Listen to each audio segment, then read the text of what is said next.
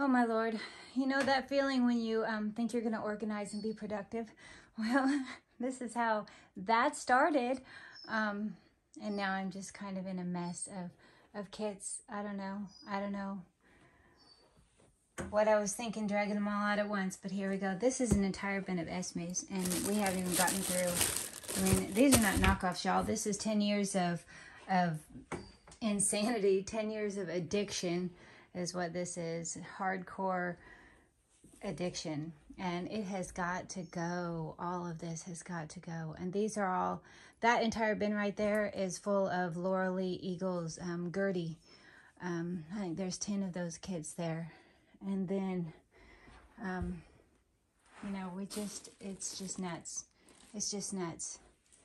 So I'm still working. Um, if I'm not answering messages, I apologize.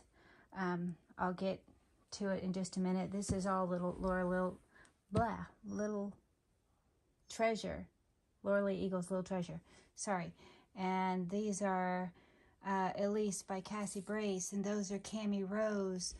Um, we have Pixie and Evangeline and Sailor Rose and uh, Martha Grace and Preemie Rosie and Wee Patience and oh my all-time favorites.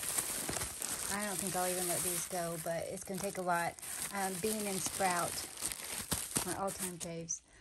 Um, Sally up there, and Mathis, and Coco by Natalie Blick. Um, what else do we have?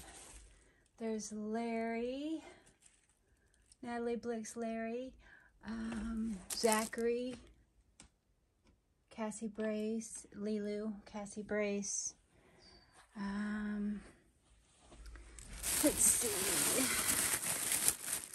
We have Penny and Americus.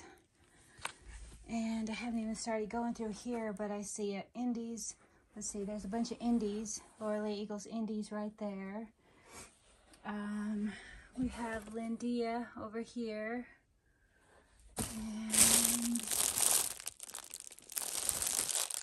And another Legler, but I'm not sure which one that is.